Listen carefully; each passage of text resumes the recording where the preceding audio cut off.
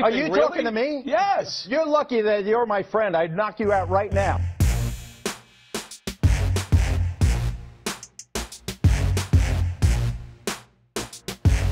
And of the American sensationalizing. from a guy who exploits and sen- sensationalizes everything. Are you really? talking to me? Yes. You're lucky that you're my friend. I'd knock you out right now. Well, that's absolute we can take, BS. We can take this up later.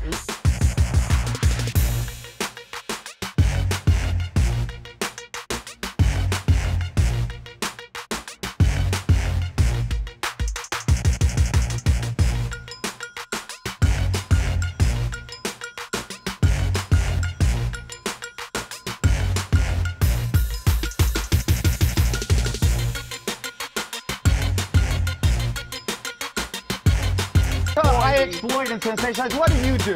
Where do you get your stuff from?